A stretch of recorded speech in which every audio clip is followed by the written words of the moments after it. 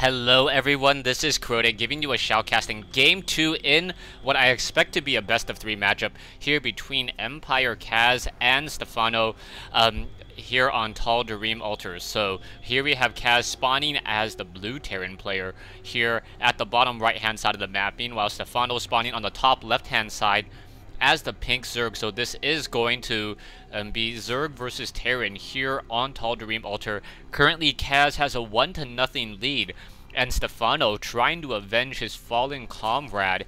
Um, part of Team Millennium, Lo uh, Adele losing in a two or a best of three series straight two nothing. So we'll see if Stephano will fall to Kas two nothing once again or just like his teammate, or if he will be able to force a game three and perhaps avenge his fallen comrade. Anyways, I am going to go ahead and pull up the production tab. Now, Tal'Darim Altar is one of those maps where I think it really favors um, a lot of Terran style of play. Um, Stephano is definitely going to benefit from the fact that this is cross spawn, and because it is cross spawn, it's going to be a little bit more difficult in order to set up this or set up siege tanks along here. One of the reasons why I say this is a Terran favored map is siege tanks from the low ground with pretty much deadly accuracy are able to snipe down, get some of those drones, and perhaps even um, then start elevator dropping some units onto the high ground to try to snipe down this hatchery over here. Stephano already coming over and now growing up to be a hatchery, a very early hatchery, a 14 hatchery here on Tal'Darim Altar. Meanwhile, we already have a barracks being built over here, and the larger the map, the more it does turn into a macro style of play especially as Stephano already heading out with two overlords in order to try to scout and find out his find his opponent. No, only scouting out with one. It would be very suicidal of this overlord to try to make its way all the way across the map here, as a marine would easily be able to chase it down and shoot it out of the sky. Now, the interesting thing that we're seeing from Kas is that Kas is most likely going to be opening up with a command center of his own. So getting a command center of his own will definitely help him out as he will be able to keep up in the economic game. It does cost a little bit more minerals. The command center costing 400 minerals as opposed to 350 if you include the drone in the cost. So that is the reason why it is a little bit delayed. Also, making sure to get this barracks out early just in case his opponent does try to go some sneaky sort of play and try to a 6 pool. I would not imagine that to be the case, as the Overlord does in fact see the SCV coming over here and most likely knows that his opponent has in fact spawned over here based upon the movements of this one scouting SCV. Drones now making their way over here, and now we are going to be getting a spot or a spine crawler here, not a sunken colony, a spine crawler here um, at the front door, and it will be able to protect against any early aggression. Drones most likely going to be trained over here in just a moment as well. We are getting two queens, so those queens are also going to be able to do a lot of damage towards any early marines as well. One of the reason reasons why early marines don't work against Zerg, especially on this map, is that the queen can come out and get a lot of damage. A queen with a spine crawler and a couple Zerglings more than enough to fend off an even food of marines trying to put pressure on that front door. The queen gonna take some damage, and oh, that spine crawler getting off one hit, but the SCV able to escape with four hit points. SCV gonna be able to go back and mine again another day. Now, as these players are playing this map, they're going to be thinking um, generally, um, this is a very large macro map. Most likely, my opponent is. Ha, I know that Stephano already has an expansion up, so Kas is now even with expansion, so he has to be pretty happy with himself as well.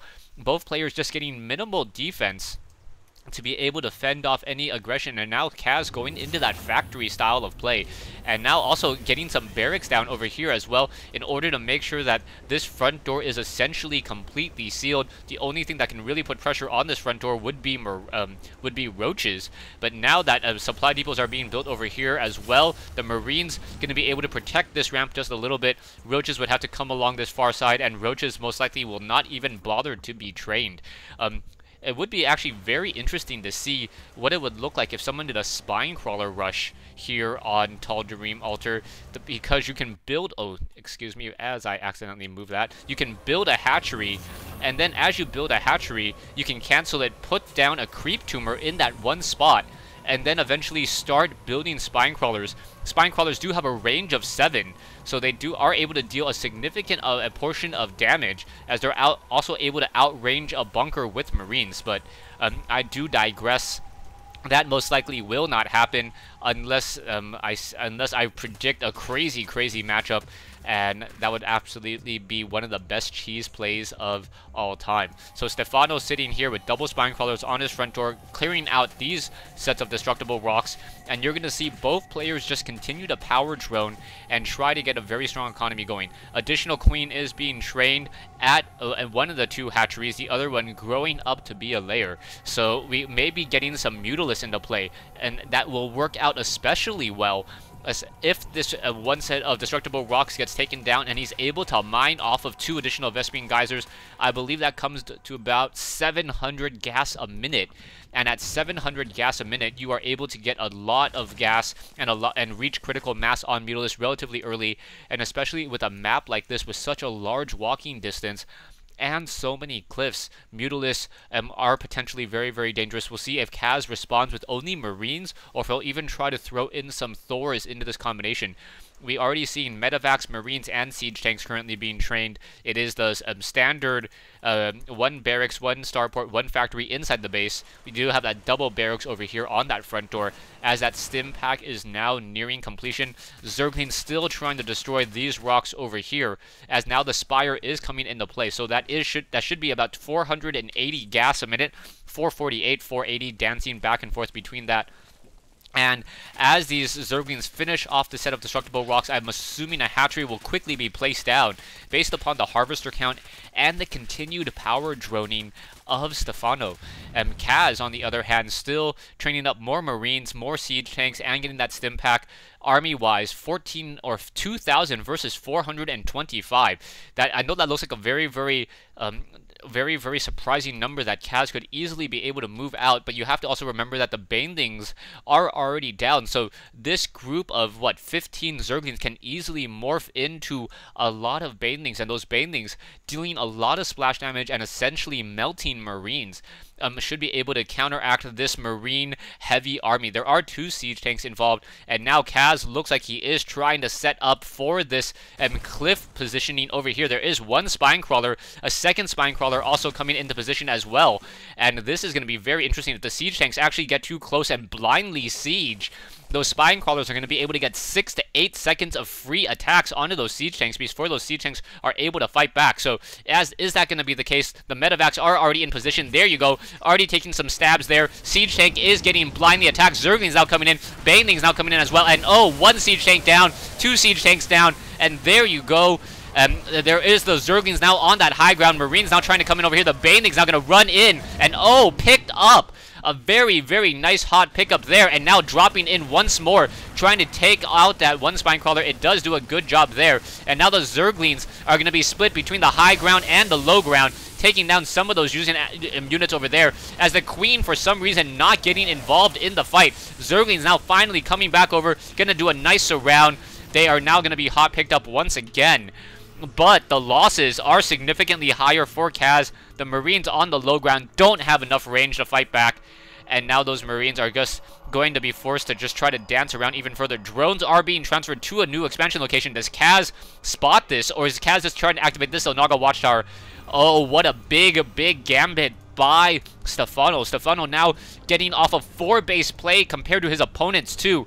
And a new fresh round of Marines and Siege Tanks on the move once more. Zerglings quickly swarming around this Xel'Naga Watchtower. Uh, one Zergling activating this Xel'Naga Watchtower as well.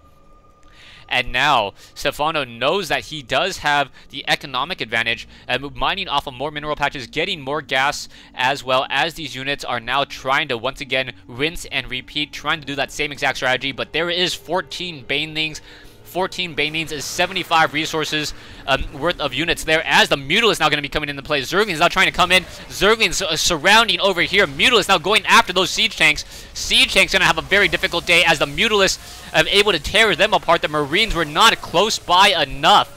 And Stephano doing a great job and now going to clean up multiple medivacs as these medivacs have nowhere to run. The Mutalisks far, far out um, outmaneuver more than 50% faster, or actually exactly 50% faster than those units, 3.75 versus 3.25, and now, or 2.2.5, um, as those Zerglings may, oh, get a, pop shotted once more. Zerglings now coming in to surround and swarm. There you go. One Baneling doing a nice melting job there and Stephano still continuing his lead. He has the economic advantage, he has the losses advantage, and Kas not looking like himself. He does have a planetary fortress over here, and Kas may be thinking, okay, I'm up to three bases, I'm good.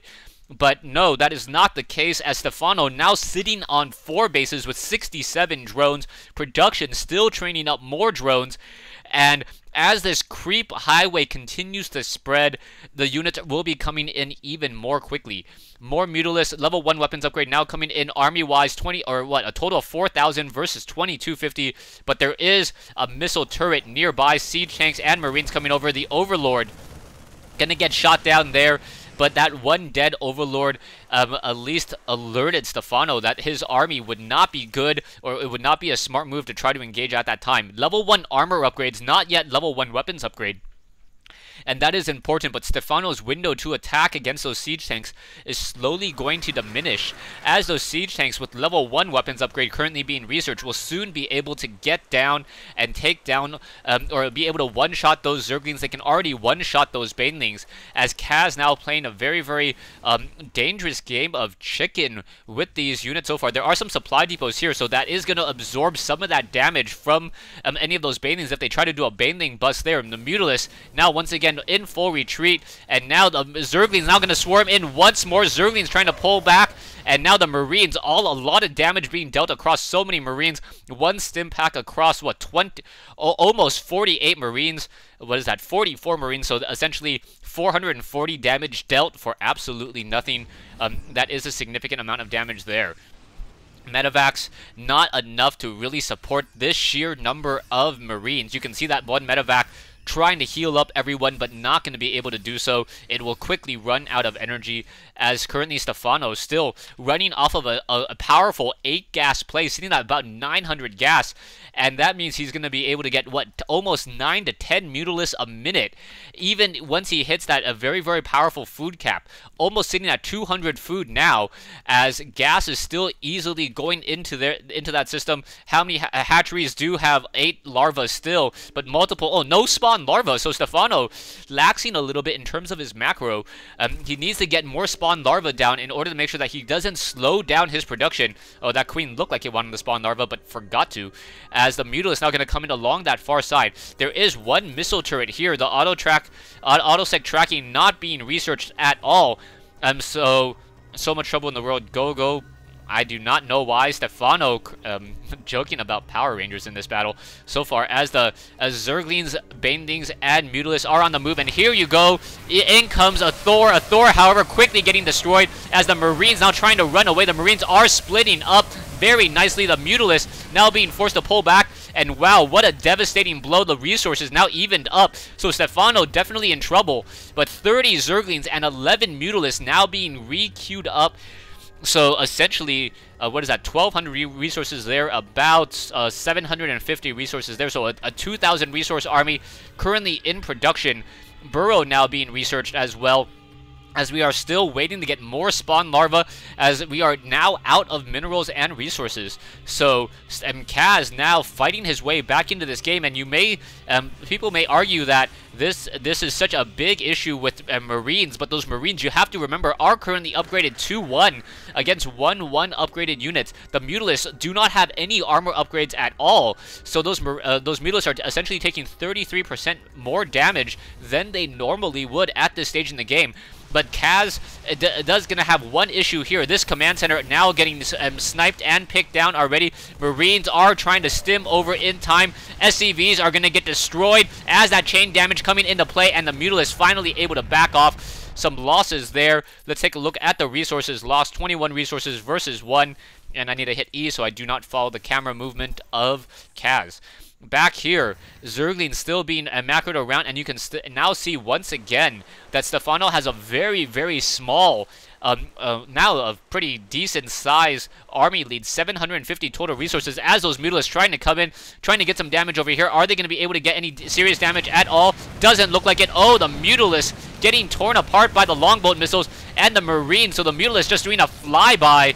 And wow, it, yeah, the pattern is full. And yeah, uh, Stephano thinking, that yeah, um, if anyone at, uh, negative Ghost Rider, the pattern is full. If anyone actually gets um, that shout out or that call out, you are as old as I am. And anyway, Stephano, um, with the Mutalisk, the, uh, the Zerglings, and the Banelings now on that low ground, and so much damage dealt by those flyby Mutalisks as those Marines now coming in. Siege tanks, Marines, now once again going to try to re-siege up. The Banelings now rolling through, and a lot of Marines now desperately trying to run away, and Stephano in a lot of trouble, but that is a lot of Banelings. Oh my goodness, how many Banelings was that? I gotta rewind. I want to see how many Banelings that was at the start of that battle. 69 Banelings. Uh, that's gonna blow this army apart as those Banelings are just gonna come in and just try to get as much damage as possible. The Marines now desperately trying to run away, but the siege tanks and, and the Marines all falling apart there, and many Marines have been destroyed. Now you can see 2,700, 1350 against 400, 400, but a lot of Zerglings now once again in production. One of the benefits of Banelings that is not often discussed is that Banelings only cost a half a larva. So if you're wondering, wow, how is he able to get up to 69 banelings? 60 um, banelings only casting, um, only needing half a larva, but they essentially cost more than a marine. So um, I, I think it's actually possible. The the the largest resource army you can have in a game is 200 food of banelings. Um, so 400 banelings, all at 75 resources each. Um, I believe that is actually no um 75 resources each no 400 banelings at 700 resources each. I believe that's about 3000 and oh banelings acting as a deadly landmine.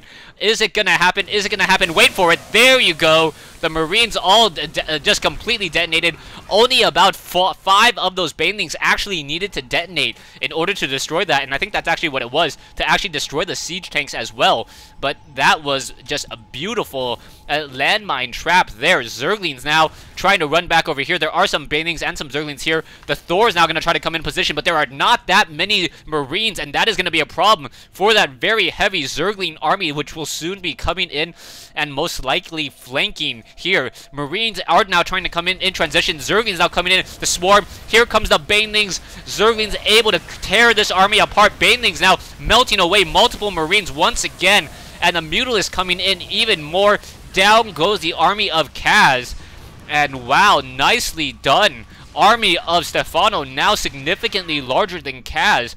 And really, I've, it's really been Stephano out macroing running off of six bases, which or, or having six bases and seven hatcheries, which is keeping him in this game expanding all across the map and staying up on top of uh, on top of resources in multiple locations. Eventually, Kas needs to start trying to establish another expansion here. Otherwise, he's just going to run out of minerals. His natural expansion already looking very, very sparse as the drones now being transferred to a new base. So it's going to be four full bases uh, compared to two full bases. No, uh, compared to only one and a half full bases in just a moment. And Stephano now sitting on an army size of what six or seven thousand resource army, and that is absolutely huge. That almost makes me think that my calculations are um, are incorrect for the other. Anyways, Zergling's now coming in, gonna surround. Uh, yeah, 150. Um, just gonna surround here, destroy multiple locations. Once again, Banelings gonna melt more units, and there's Kas with the GG. So Kas losing a game to Stephano here on Tal'Darim Altar and that means that game three will be played. I did cast these games out of order, so I do know the next game is on Neo Enigma. Uh, stay tuned for that game. I will still be posting these games up in order for you guys, but I hope you guys enjoyed this game between Empire Kas and Millennium Stephano here on Tal'Darim Altar. Thanks for watching, thanks for listening, and oh, a tournament update for everyone who's been asking me where's my tournament. Um, I'll probably do another tournament update as well at the beginning of 746. The games have not yet been submitted to me, so I know a lot of you guys are like, "Oh, I want to see those tournaments," and they will be up. Another thing, I know a lot of you guys want to see the game as quickly as quickly as possible. Because of that, I will be um, doing a. I have opened up a Justin TV um, account. It is Crota TV. Uh, so go ahead and check that out. Uh, I am also on the Team Liquid site as well. So when I am live streaming, hopefully that will be updated. I'm moving away from live stream as live stream. Um, apparently, a lot of you guys don't like live stream, so like, okay, I'll move to Justin TV. I did upgrade it, so I um, I did upgrade the account as well. Thank you for all you donators out there. And if you guys would like to donate, not saying that you have to, but it does help with a lot of a lot of the equipment, a lot of the time, um, also paying for daycare, um, as my darling Aria. I digress. I'm a proud father. Yeah, I know. Uh, yeah, if you would like to donate, there is a link on my channel page. Go ahead and just click it. It's on the left side. It says donations if you insist. Uh, but yeah, thanks for watching. Thanks for listening. Hope you guys enjoyed this 1v1 replay. And I purposely kind of ranted a little bit longer just so you guys wouldn't know when the game exactly ended. Thanks for watching. Thanks for listening. Hope to see you guys on Battle.net.